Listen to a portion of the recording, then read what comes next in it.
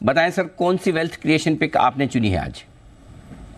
Yes देखिए, मेरे हिसाब से रिको ऑटो एक बहुत बढ़िया स्टॉक है और मेरा wealth creation pick Rico Auto पे रहेगा with a stop loss of 110 and target of 200 reason being देखिए पंद्रह साल बाद इसमें एक बहुत बढ़िया ब्रेकआउट आया है 115 के ऊपर पहली बार आया आफ्टर 2006 और जब भी आप हिस्ट्री निकाल के देख लीजिए, जब भी कोई स्टॉक 15 या मल्टी ईयर ब्रेकआउट देता है तो बहुत बढ़िया ऊपर में जाता है अच्छा रिटर्न्स देता है।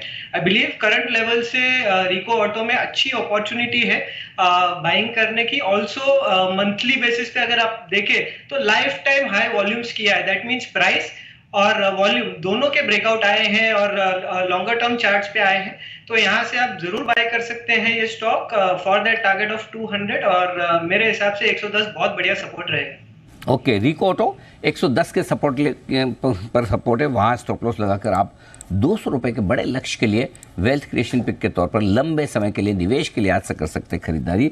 नीरव जी बहुत बहुत